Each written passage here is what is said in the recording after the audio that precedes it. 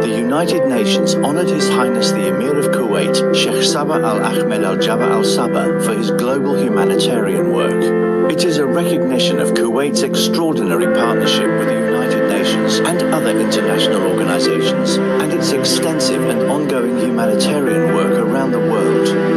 Kuwait's leadership and funding has saved tens of thousands of lives and has galvanized others participate in coordinated international action.